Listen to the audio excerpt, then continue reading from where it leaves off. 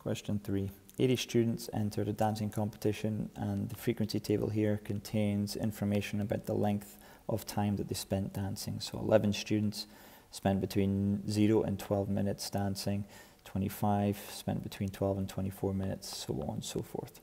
Find an estimate for the mean length of time the students spent dancing. So whenever you're looking to find the estimate of the mean, the reason why it's an estimate question is because you've been given these intervals. You do not have exact numbers to deal with. So we take an, our best guess or our best estimate by finding the middle of each of these groups.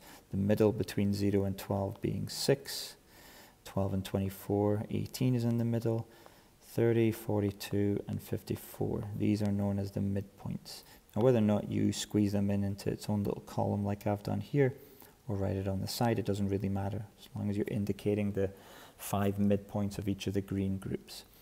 Then, using those numbers, we have 11 of these sixes, or at least 11 numbers, 11 students in between those two times, so we're going to use 6, 11 sixes, 25 18s, so on so forth. We multiply these together to get what I refer to as the mini totals.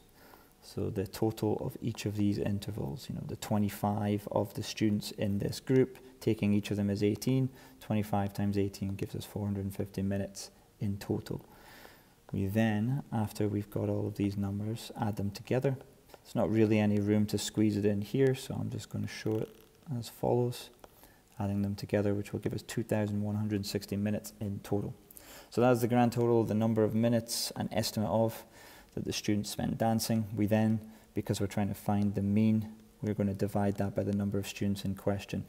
You can, of course, add together all these frequencies to give you another column here, but the question also told us right from the start that there were 80 students. Either way, I take that 2,160 and I divide it by 80, giving me a mean of 27 minutes. Done.